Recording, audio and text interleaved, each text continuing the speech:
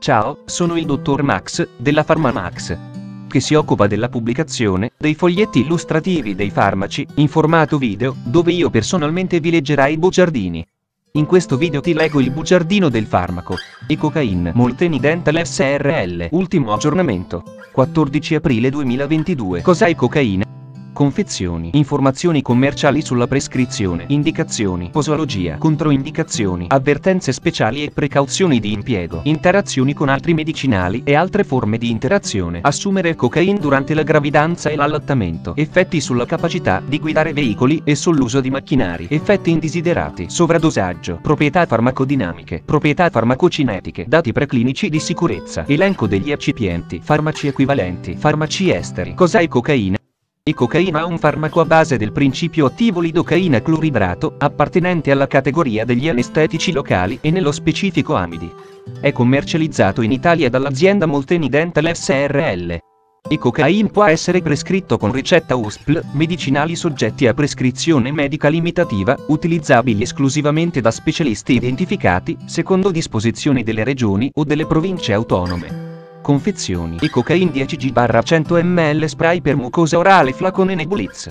60 ml e cocaine 20 mg-ml in it. C-Atren. 1. 50.000 50 cartucce 1,8 ml e cocaine 20 mg-ml in it. C-Atren. 1. 80.000 50 cartucce 1,8 ml e cocaine 20 mg-ml in it. C-Atren. 1 100 000 50 cartucce 1,8 ml e cocaine in it. 50 cartucce 1,8 ml. Informazioni commerciali sulla prescrizione. Titolare. Molteni Dental SRL. Ricetta. USPL, medicinali soggetti a prescrizione medica limitativa, utilizzabili esclusivamente da specialisti identificati, secondo disposizioni delle regioni o delle province autonome. Classe C. Principio attivo. Lidocaina cloridrato. Gruppo terapeutico. Anestetici locali. Forma farmaceutica. Soluzione. Indicazioni. Tutti gli interventi conservativi e chirurgici in odontostomatologia. E cocaine con adrenalina 1 100 000 1 80 000 1 50 000 ha indicato quando si desidera prolungare la durata dell'anestesia regionale o quando è necessario ottenere una ischemia locale.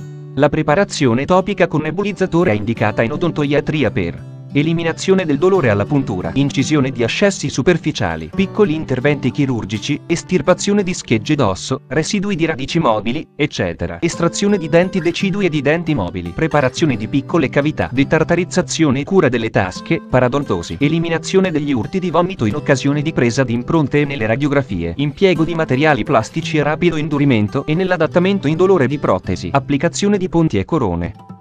Posologia cartucce 1, 2 ml OPA in relazione alle esigenze dell'intervento, per infiltrazione oppure per blocco nervoso periferico.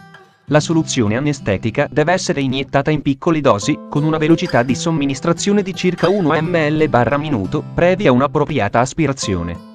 Nell'adulto sano, non pretrattato con sedativi, le dosi massime, in singola somministrazione o in PA somministrazioni ripetute in un tempo inferiore ai 120 minuti, sono di complessivi 300 mg di lidocaina cloridrato e 0,2 mg di adrenalina, pari a 8,3 cartucce di cocaine senza vasocostrittore, 8,3 cartucce di cocaine con adrenalina 1, 100, 000 e 1, 80, 000, 5,5 cartucce di cocaine con adrenalina 1, 50, 000. In pediatria ridurre la dose proporzionalmente al peso e all'età. Nebulizzatore. Un'unica pressione sulla testata di spruzzo libera automaticamente una dosata quantità di cocaine, che non contiene gas propellente. Ogni spruzzo corrisponde a 100 I un quarto L di soluzione pari a circa 10 mg di lidocaina cloridrato. Si raccomanda come limite massimo la somministrazione di due spruzzi per quadrante di mucosa orale. Non si deve in nessun caso superare 3 spruzzi per quadrante in un intervallo di un'ora e mezzo.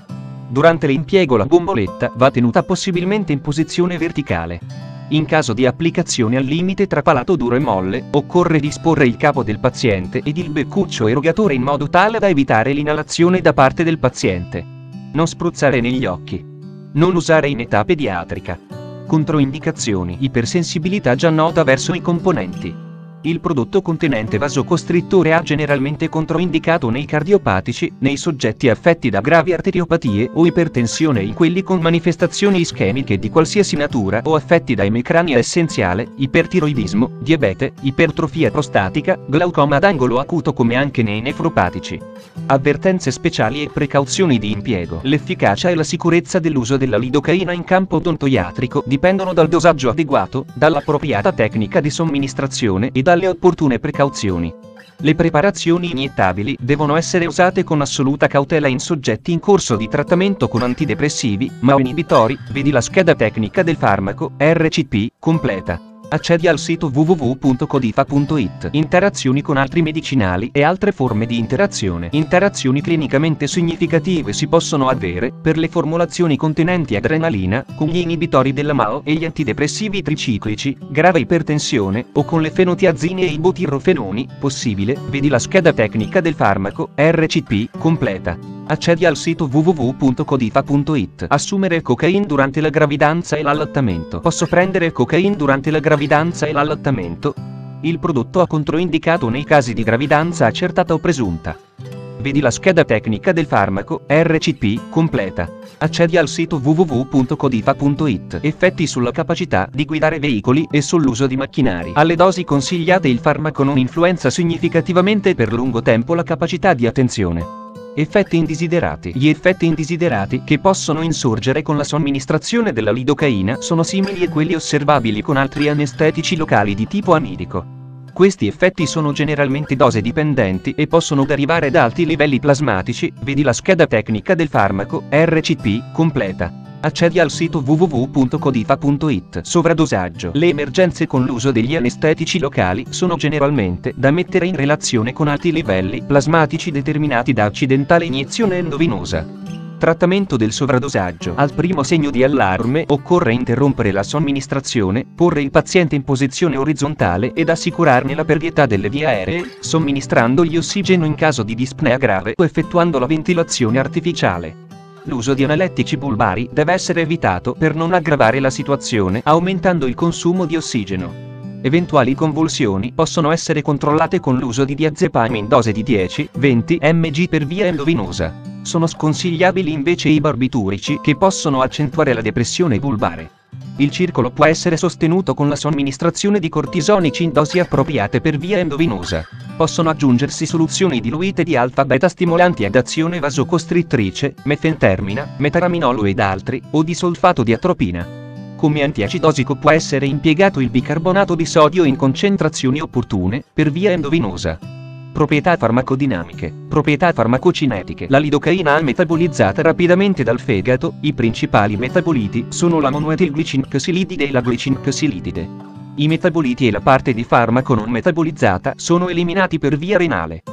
Dati preclinici di sicurezza. Elenco degli eccipienti. Farmaci equivalenti. I farmaci equivalenti di cocaina base di lidocaina cloridrato sono Ecocaine, Xylominol. Fonte, foglietto illustrativo. AIFA, Agenzia Italiana del Farmaco. Le informazioni presenti possono non risultare essere aggiornate. Per avere accesso alla versione più aggiornata, si consiglia l'accesso al sito web dell'AIFA, Agenzia Italiana del Farmaco. Grazie per avermi seguito fino a qui, spero che la PharmaMax ti sia stata utile, iscriviti al canale e sarai informato sulla pubblicazione dei nuovi video bugiardini. Buon proseguimento, ci vediamo al prossimo farmaco esaminato.